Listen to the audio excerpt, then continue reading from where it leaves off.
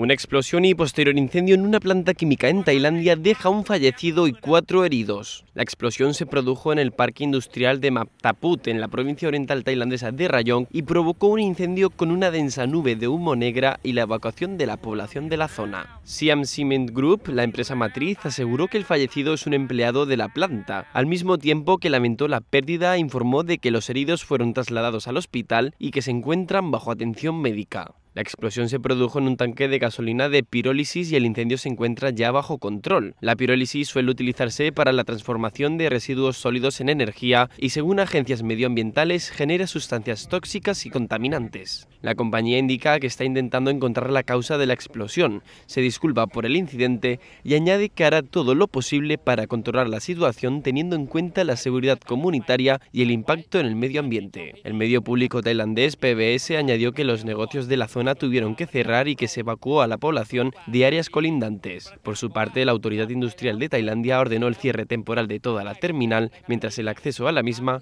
fue bloqueado.